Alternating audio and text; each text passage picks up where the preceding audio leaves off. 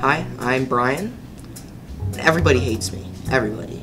Uh, I can't really think of one person since birth that has actually liked me. My parents, my teachers, my friends. I'm not really sure why they hate me. Uh, Hey, buddy, you okay? Come on, get up. Nerd.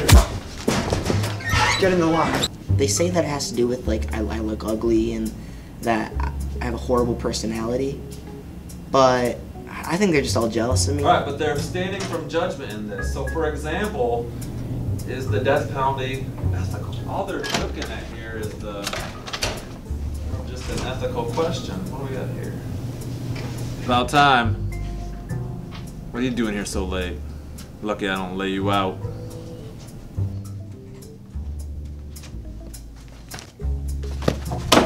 I'm Brian, and I commit tax evasion.